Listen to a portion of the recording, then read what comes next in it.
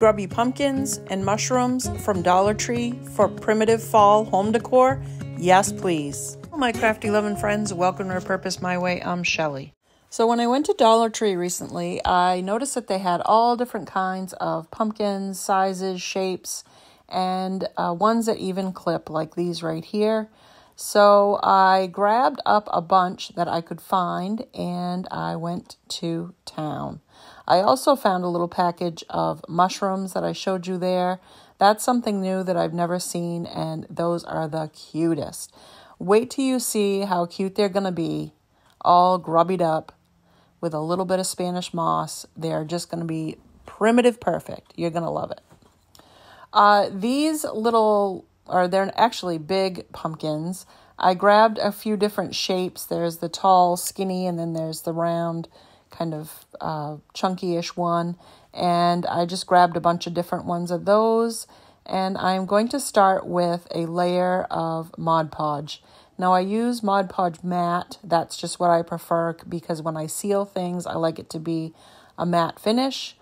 Uh, but uh, you get the glossy or whatever you choose that you want to use.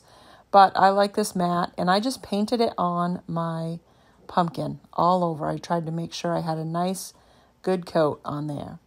Now this brown stuff that I'm putting on is grubby mix that I make up myself. You could use cinnamon as well. I like the darkness of this one that I mix up and it also has some coffee in it and it just has lots of texture to it because of the grounds of coffee. The uh, different, I have cinnamon in it, I have apple spice, uh, cloves, I have whole cloves in it. Uh, that's a lot for the whole cloves are more for like a the smell, but I just put that all on and make sure that it's covered. And now I'm going to show you, I'm just using my Rust-Oleum matte uh, clear spray that I have and I sprayed my little pumpkin to see how that would work. I've been told that that works pretty well and it does work pretty well. It actually sticks to it, but it dries so stinking fast that I had to go out, I think four times. I had to go out and spray it so that I had it sticky enough for the uh, the, the spice mix here to to stick to it. So I do have a video on how I make this spice mix. I'll link that down in the description and also I'll link it in the comment at the top of the comment section. I have these little clip-on uh, pumpkins that are really cute on their own, but I want to get these grubbied up because I like them to look primitive. And with fall coming and Halloween coming, I think they're going to look really cute for both. So again, I coat it all with Mod Podge and then I'm going to just bathe it in my spice mixture and then I tap it off. I tap my hand to tap it off because if you actually tap the pumpkin, sometimes you touch it and the stuff will come off uh, if it's not dry yet, which it's not. So, so there, that guy's done and I'll do all the rest of those. And now I'm going to work on the mushrooms. These guys, I've never seen them before, and I could not wait to get my hands on them as soon as I saw them. They are just the cutest. So, uh, again, Mod Podge, a good coat. You're just painting that on there. And I did a little bit up underneath. You're not going to be able to see it, but I just thought it would make it look nice and finished just in case if somebody didn't want to go through this whole process that I'm doing, if you wanted to cover the top and just leave it the way it is, then you could do that. So I did go up underneath the little top of the mushroom. Uh, and then I'm also going to put the spice mix up under there as well. Now you do want to make sure that you have something to set your pieces on while they dry. I have a piece of wax paper that I set them on so that they can't stick to it uh, and the you know the spice mix or grubby mix will stick and peel off. So I like to use that or even one of those flat tins that you can get from Dollar Tree. I let all my pieces, once I had them coated, dry for about 30 minutes. and that makes it so uh, the spices stick really well. You can go in right after you spice them up or grungy them up and start right in if you want to.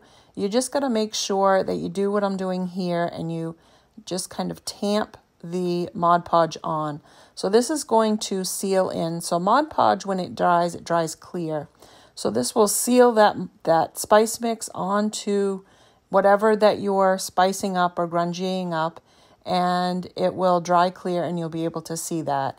It will have a little bit of a sheen to it, but it's more of a matte sheen than if you were to use the gloss. It would be highly, highly glossy. So I just kind of uh, show you a few times here on a few different things. See how I just tamp on uh, that Mod Podge. Uh, you, if you go straight into brushing, it doesn't always, it's not always stuck well, and you could brush it right off. So, and then when you do brush it back, you want to do it gently, and it it should work really well, especially if you let it sit and dry for a little while they it's already dried on there and this just helps seal it in. I do a lot of selling in my booth and on etsy and i just whenever i ship or i know people are going to be handling things that's why i seal them because it just makes it easier and you don't have a bunch of spice mix falling off all of your pieces and have big bald spots on them from people touching them or from shipping just things moving around in shipment. So that's one of the reasons why I uh, make sure I put a seal coat on it. I also like the look of it when it dries. It gives it a nice dark look. And so that makes it look even more primitive to me. So I like to do that. Now this is the pumpkin that I used the clear, wa- the uh, not clear wax, the clear uh, spray on. And I took that outside and sprayed it to seal it on instead of using the Mod Podge. Now I'm showing you here what the look is. It looks more like it originally did when I put it on. It didn't change the color very much, it didn't darken it up. And I really like that way too, and it actually sticks really well. Now I'm using some Craft Smart, I believe it's called. I got this from Michaels. It's a color khaki, so it's like a brownish gray color. And I'm putting that at the bottom of my mushroom. So the little base of that is going to be this color and um, covering up whatever grubby mix I got on the base. And I just give that one coat. It doesn't need much because I will be going in with some antique wax and darkening that up and just aging it. So it doesn't matter if it's not uh, completely covered. It does a pretty good job of covering it. Of course, you could use any color that you want. I just had this one and I thought it matched well. So um, going in and doing that. And I don't worry about getting too far up under the cap of the mushroom. I'm going to be adding Spanish moss to that, so uh, that'll cover that up. Now I'm just heating or uh, drying this up with my heat gun. And the first time I did this, I realized that as I'm doing it, it's getting kind of these bubbles, these bumps, and it's shriveling a little bit. And I'm like, oh my goodness, this looks so much like a mushroom. And so uh, it's kind of like a foam material and it's squishy. So it just kind of melts a little bit. And uh, it reminds me of those foam or those mats that the kids play on when they tumble, like in tumbling class. It's all I can think of to explain it. There's a real spongy type material. So I'm just using my heat gun and I'm, I'm heating it up and I'm letting that paint bubble and I'm letting it bring melt a little bit and bringing back some of that underneath uh, color. It's fine. And as you can see there, I've got a little paint on the cap, but that will be covered up with my uh, antique wax, so it's not a big deal. So I did the same with that. I painted it, I heated it with the gun, and that just shriveled it up and kind of made it look, I think, even more like a mushroom. So I'm taking a little bit of the antique wax straight out of the bottle and I am going to wipe it right on to the base of the mushroom. And I'm just darkening up that paint a little bit, making it look a little grubby. And then I go ahead and wipe it back. And I'm going to hit it again with the heat gun. And as you can see, the paint's bubbling and it's fine. Um, and I'm just drying that up really good. Now, before I finish, I'm going to heat the bottom of that up and then I'm going to push it down onto the table or you can find a flat area, whatever you have. And I'm trying to make the bottom flat. It's kind of rounded and it doesn't stand up very well. And I want the option, as you can see here, to be able to stand it up if I want to. It's still a little topsy-turvy because, you know, those caps are pretty big. But it does stand, so it's pretty cool. So you just heat that up and soften it and just push it down. And I had to keep playing with it, but eventually, uh, you know, you get them where you want them, and some will fall and some will stand. So now I'm going to take my heat gun and some Spanish moss, like I explained earlier, and I'm just going to tuck it in around and up under that cap of the mushroom just to make it even more primitive and just make it look whimsical and fun.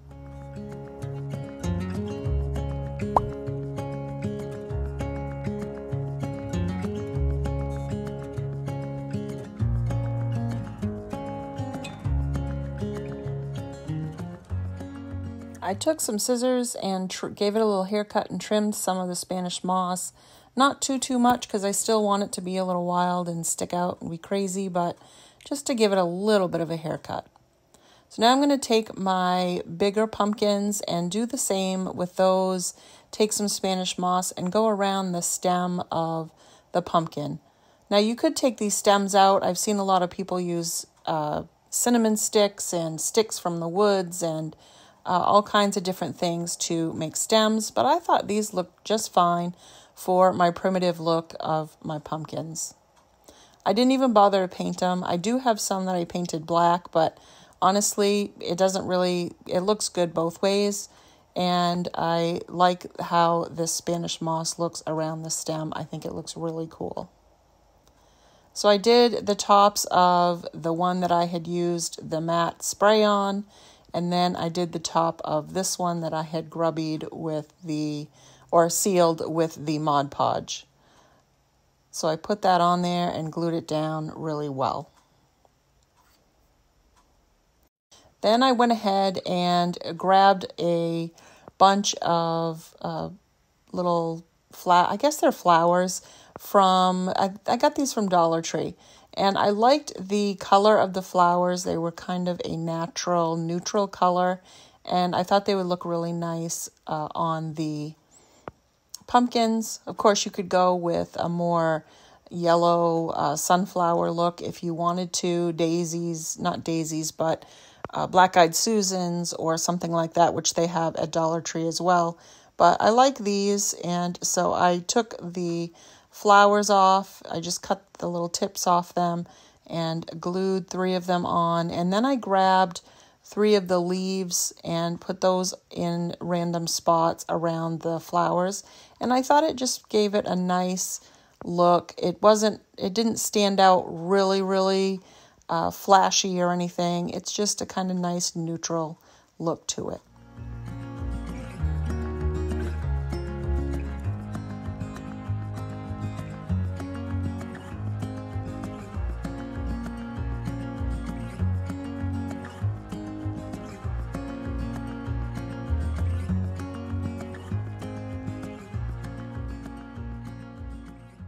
I want to make some tags for my bigger pumpkins.